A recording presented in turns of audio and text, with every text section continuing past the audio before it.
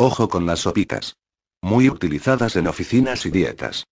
Los peligros de las sopas de sobre. Las sopas instantáneas las más buscadas y consumidas, por la comodidad de tener una comida completa en 5 minutos.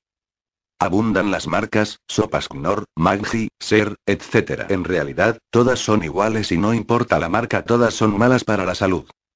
Las sopas instantáneas son lo peor que se puede comer. Contienen solo química, aditivos químicos, colorantes, saborizantes, mucha sal y un aditivo que es un verdadero veneno, el temido glutamato monosódico. ¿Qué es el glutamato monosódico? Es un aditivo utilizado para dar más sabor a los alimentos industrializados, como caldos de pollo en cúbitos, salsas, frituras, cubos de tomate y sopas instantáneas. En los años 60 se popularizó un sazonador de marca Ajinomoto, que se usaba como sal en todos los alimentos. Fue retirado del mercado al descubrir que era altamente cancerígeno. Era glutamato monosódico puro. Entonces, los industriales lo empezaron a usar combinado con otros aditivos para sazonar los alimentos industrializados. ¿Qué pasa con el glutamato ese?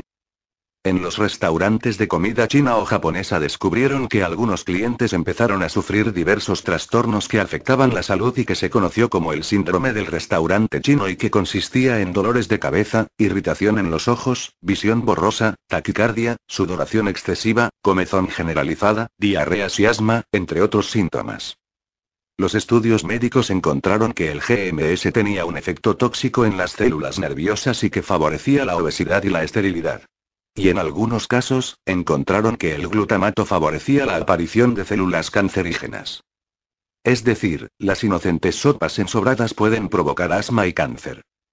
Eso, suponiendo que las sopas se calentaran en la hornalla, sacándolas de sus envases plásticos y colocándolas en ollas o sartenes de metal o barro.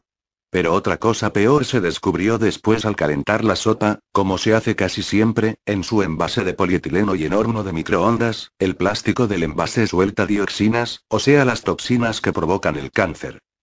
La industria alimenticia ha descubierto la forma más fácil, rápida y económica para hacerse de un buen cáncer y de paso llegar a la obesidad. Y como de la obesidad a la diabetes, solo hay un paso, tenemos en el mercado un producto, las sopas Knorr, Maggi, Ser y similares, que nos pueden dar, por el mismo precio, asma, obesidad, diabetes y cáncer. Como el Ministerio de Salud le ha dado el visto bueno a esos productos, queda en manos de usted decidir si sigue comprando y consumiéndolas. Siendo de lentísima digestión, la porquería esa se queda atorada en los intestinos por varios días, provocando a varios clientes apendicitis.